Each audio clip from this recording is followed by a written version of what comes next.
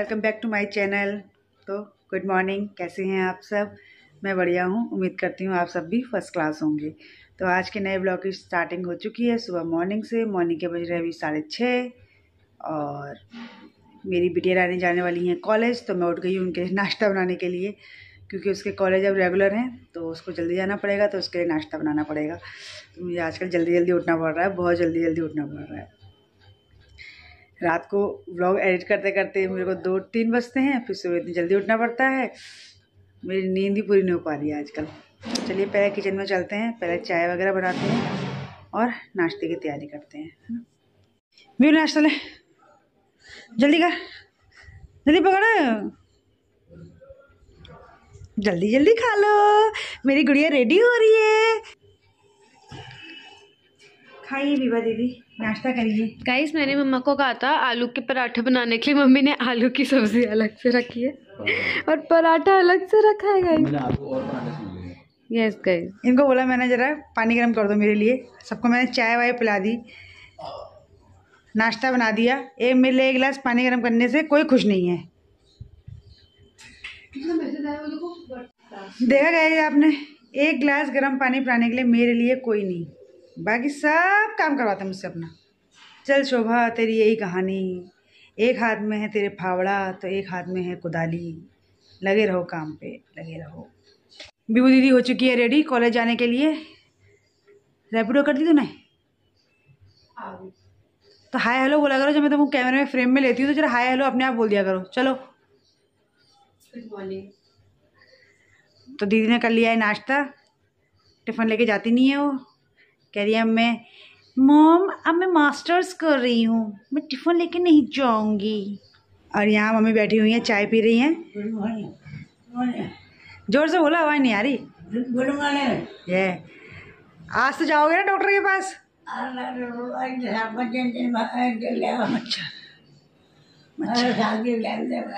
तो आज मम्मी जाएगी जाएगी, चाहे नहीं जाए, पर उठा के जाए गोद में उठा के ले आना पड़े, पर आज ले आना है।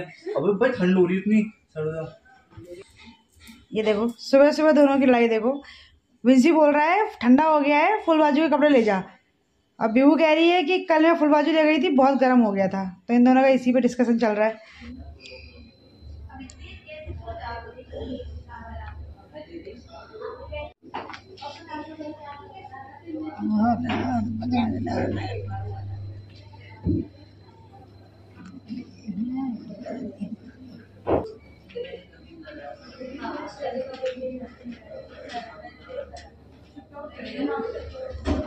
तो गाइस आज लेके आ गए मम्मी को हम खींच खाँच के हॉस्पिटल क्योंकि घर में बहुत परेशान कर रही थी हॉस्पिटल आने को तैयारी नहीं हो रही थी। आज लेके आए हैं, देखते हैं फिर क्या होता है।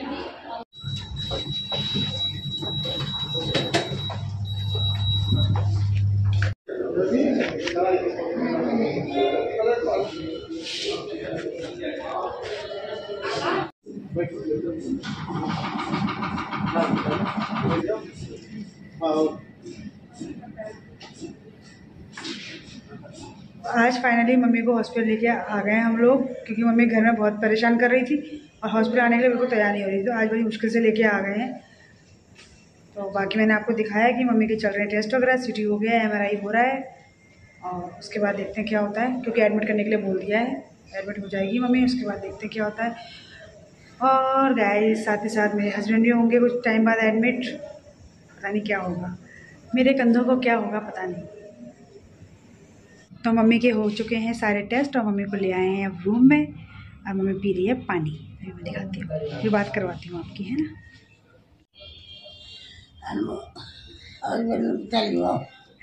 आ गए हॉस्पिटल? आज मम्मी को ले आया गया मम्मी यही डर रही थी ना मुझे एडमिट कर देंगे तो मम्मी डरती है। तो मम्मी का तो बढ़िया है घर में भी लेटे रहना यहाँ भी लेटे रहेगी। बढ़िया है। टीवी भी लगा हुआ है टीवी देखना हुआ टीवी भी लगाई हुआ है मम्मी का। डर क्या है? हॉस्पिटल में डर क्या है? हॉस्पिटल में तो बढ़िया है। कुछ भी होगा तो इलाज फटाफट हो जाएगा। सीटी और एम एमआई करा के आ गई मम्मी। आप देखो आप क्या बोलेंगे और टेस्ट के लिए। क्योंकि मुझे बनाना है अपने बच्चों के लिए शाम का खाना। दोनों आएँगे कॉलेज से। मेरे हस्बैंड रुके हैं मम्मी के साथ हॉस्पिटल में। और अभी खाली एमआरआई और सीटी स्कैन हुआ है। उसके बाद शाम को डॉक्टर आएँगे, देखेंगे रिपोर्ट क्या आएगी। उसके बाद और टेस्ट जो होंगे वो होते रहेंगे। तो चलिए अब मैं चेंज कर लेती हूँ क्योंकि मेरे को भी हो गई वो थकान, क्योंकि मेरी तबीयत भी ठीक नहीं रहती है। मैं थोड़ा रेस्ट करूँगी, आधा घंटा, उसके बाद में बनाऊँगी बच्चों के लिए खाना, रात का डिनर है ना? तो मिलूँगी आपसे बाद में। और गाइज़ प्लीज़ आप लोग मुझे सब्सक्राइब नहीं कर रहे हैं। सब्सक्राइब जिन्होंने सब्सक्राइब किया है, वो मुझे देख ही नहीं रहे हैं। तो प्लीज़ ऐसा मत कीजिए ना, आप ऐसा क्यों कर रहे हैं? सब्सक्राइब करके भी नहीं देख रहे हैं। अब बड़ा दिल दुखता है ना कि इतने सब्सक्राइबर और व्यूज़ बिल्कुल भी नहीं आ रहे हैं। या तो मुझसे कुछ गलती हो रही है व्लॉग्स बनाने में या कुछ मतलब जो भी हो रहा है, आप मुझे बता भी नहीं रहे हैं। तो प्लीज़ यार, ऐसा मत कीजिए मेरे साथ। देखिए मैं कितना वो करके, कितना एफर्ट डाल के मैं आप लोगों के लिए व्लॉग्स बना रही हूँ वीडियो शूट करती हूँ।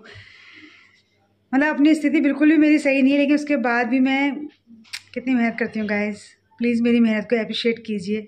प्लीज़ देखिए मेरे ब्लॉग्स को, ऐसा मत कीजिए। मेरे हौसले को मत तोड़िए गाइज़ मेरे हौसले को मत तोड़िए। और अब विवाह दीदी आ चुकी हैं कॉलेज से।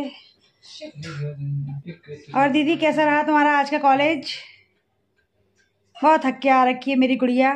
और मैंने उसके लिए अभी खाना भी नहीं बनाया। जैसे ही मैं घर पहुँची मेरे पीछे पीछे दीदी भी पहुँच गई। मैं भी लेट ही थी रेस्ट करने के लिए गाइस मेरी किस्मत में रेस्ट बिल्कुल नहीं है। पता नहीं कैसे लिखी है मेरी किस्मत। एक मिनट रेस्ट नहीं है मेरे पास। चलो चलते हैं। क्या खाएगी आज? क्या बनाऊँ? तो मैं बस लेट ही थी कि मैंने कहा थोड़ा आधा घंटा रेस्ट करती हूँ, तब तक दीदी आएँगी तो मैं खाना बना दूँगी। तो जैसी मैं लेट, वैसी दीदी आ गई। अब पूछते हैं दीदी क्या खाएगी, अभी तो बता नहीं रही है कुछ। चलो, देखते हैं। तो गैस डिनर हमारा हो गया है। बच्चों के लिए मैंने बना दी थी रोटी सब्ज़ी और दाल चावल। चारों चीज़ें बनती हैं हमारे यहाँ। शाम को भी चावल बनने ही बनने हैं। तो अभी डिनर हमने जल्दी कर लिया है, अभी आठ ही बज रहे हैं, लेकिन आठ बजे हमने डिनर कर लिया है क्योंकि हमको टाइम से सोना है। क्योंकि बच्चे दोनों सुबह जाएँगे जल्दी कॉलेज और मुझे मेरे हस्बैंड ने बुलाया है सुबह सात बजे हॉस्पिटल, मम्मी के साथ। तो सुबह सात बजे मैं हॉस्पिटल चले आऊँगी, मम्मी के साथ हस्बैंड घर पे आ जाएँगे। तो इसलिए मुझे अपना ब्लॉग भी एडिट करना है अभी और टाइम से मैं सोना भी है। तो मैंने कहा, ठीक है, मैं भी ब्लॉग का एंड कर देती हूँ। और बाकी आज आपने देख ही लिया, मैंने आपको दिखाई दिया कि मम्मी के आज सीटी स्कैन और एमआरआई हुआ है, बाकी टेस्ट कल होंगे। तो ये मम्मी को सांस लेने में जो प्रॉब्लम हो रही है, उसके टेस्ट शायद इको वगैरह होगा अभी। तो देखते हैं। ठीक है, इस ब्लॉग को मैं यहीं पे एंड कर देती हूँ। मिलूँगी मैं आपसे नेक्स्ट ब्लॉग में। तब तक के लिए बने रहिए मेरे साथ घर वाले ब्लॉगर शोभा। मेरे चैनल को लाइक कीजिए सब्सक्राइब कीजिए शेयर कीजिए सब्सक्राइब कीजिए और वॉच टाइम दीजिए। वॉच पक्का कीजिए गाइज़ तो ठीक है, मिलूँगी मैं आपसे अपने एक नए ब्लॉग में। तब तक के लिए tata bye bye good night शुभ रात्रि टाटा।